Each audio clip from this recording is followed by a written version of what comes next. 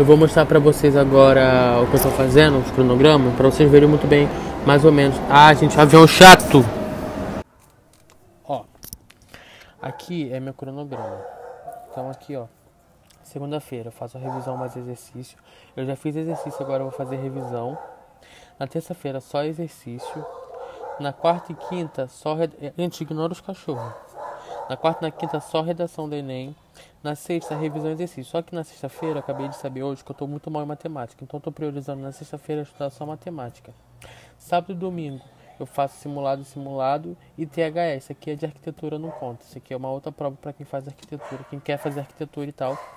Isso eu expliquei num post. Eu vou deixar o post aqui embaixo. Então é isso. E hoje eu fui lá estudar isso aqui, ó. Isso aqui é um livro que eu tinha do meu terceiro ano, que eu confesso que eu não fiz. Ai, gente, que horrível. E aqui eu faço todos os exercícios, ó. Tava fazendo exercício hoje, aqui tava corrigindo os exercícios que eu errei hoje. E no final tem um gabarito. Aí o que eu errei, eu boto em vermelho, o que eu acertei eu boto em verde. Então isso aqui é mais ou menos os meus estudos. Exercícios que eu já fiz. Eu quero até, até o final da semana completar todo esse livro aqui. Tem três desse. E tipo, você não necessariamente precisa ter esse livro para estudar. Você pode. Isso aqui é como se fosse o Enem 2014, 15, 16. Então você pode baixar o Enem, o simulado em PDF. Inclusive vou deixar o site aqui dos dos todas as provas do Enem anteriores em PDF. É, então você pode fazer isso, baixar exercícios, tem um monte de exercícios, você só baixa e faz o exercício, sabe? Mas cria uma rotina, cria um hábito, uma coisa de tipo. É, ho- hoje tal dia eu vou- me dedicar só em redação. Hoje tal dia eu vou me, vou me dedicar só no que eu realmente não tô sabendo muito, entendeu? Para você não não fazer igual eu tava fazendo, sabe? Correr, correr, correr e não fazer nada. Mas é isso, mantenha calma, fica tudo tranquilo, respira fundo, senta aí sozinho, não precisa falar pra ninguém o que você tá fazendo, não precisa dar satisfação se você estudou ou não, isso é uma coisa que tá com você. E outra coisa, gente, peça ajuda. E se alguém te oferecer ajuda, aceite. Eu sou um pouco orgulhoso e hoje me ofereceram ajuda em matemática e eu aceitei, porque no caso foi o Ebert mesmo. Mas mesmo assim, gente, peça ajuda porque é, são duas questões. Ou você aceita ajuda para desenhar o teu futuro, ou você não aceita ajuda e desenha o teu fracasso, sabe? Então, no final de tudo, o que você quer? Você quer o seu futuro ou você quer o seu fracasso? Então a gente tem que refletir isso e, e, e ligar para a opinião dos outros, sabe? Realmente não sei, quero aprender. Me ajuda. É meu futuro, é meu estudo, é é isso que eu quero, entendeu? Mas eu vou deixar mais pra frente porque vai ter um vídeo motivacional antes do Enem pra gente. Beijo, gente, já falei muito. Agora vocês vão ficar só com as cenas, tá? Eu espero que vocês gostem do vlog aí, aproveitem bastante.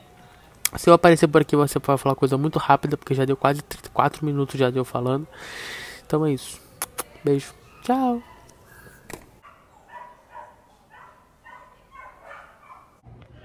Gente, tô aqui escrevendo um resumo de ecologia.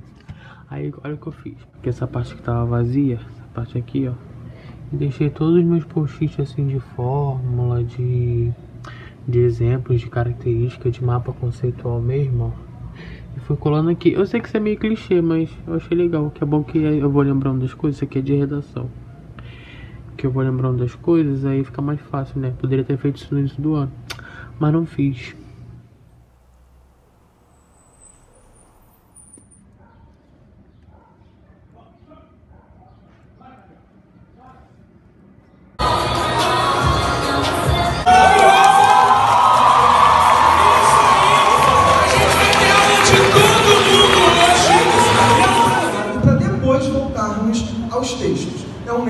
Para nós podermos economizar o tempo. Cumprir o trato injusto e não falhar, mas avisar aos outros quanto é injusto. Então, assim, ele não vai poder deletar esse gene no zigoto, assim que acontece o que acontece. Vai deletar já no paciente adulto. Já no indivíduo adulto, Então, vai ter que escolher do indivíduo adulto, tá?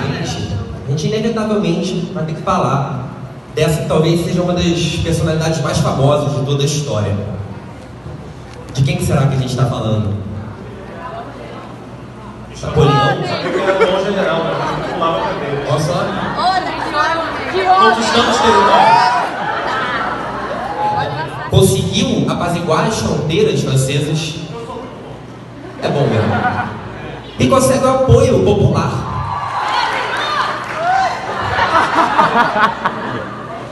Que Dom João, ainda trêmulo da viagem, cansado, esgotado, com a cabeça ainda raspada por conta dos piolhos, Medroso. recebe um documento para assinar. Esse documento abriu os portos brasileiros às nações amigas. Napoleão comandar a invasão. Ele toda noite atendei na rua. Eu tirei um pastel de cada bandeja. Tirei um. Gramática,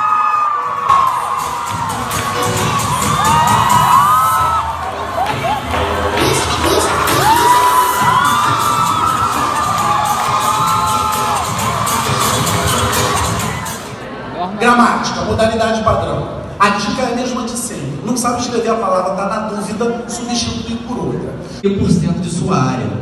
Três estados da região centro-sul do Brasil ocupam 15% da leis recorrentes que a gente observa sempre na avaliação. Maquiavel, Descartes, é, pré-socráticos, né, alguma questão que envolva... Quando o Viúvo convocou a gente, ele falou dos 210 anos de comemoração dessa efeméride, ou seja, essa data importante para a nossa história e para a construção do Estado brasileiro. Bom, isso é apenas o começo. Oi, gente, voltei. Cheguei agora do aulão, foi maravilhoso. Meu Deus, que equipe linda. Ai, cada dia que passa eu já fico mais apaixonado por Enem. Tirei foto com, com ah, tirei foto com todo mundo que eu queria. Que- Queria tirar foto com mais pessoas, mas não deu tempo. Tava meio cheio e tal. Enfim, foi muito legal. Ganhei mimos. Oh. Ah, não, tô feliz. É. É isso, gente. Vou mostrar pra vocês que eles deram. Ó, assim que a gente entrou lá, eles deram essa bolsa. Cara, que eu amei minha.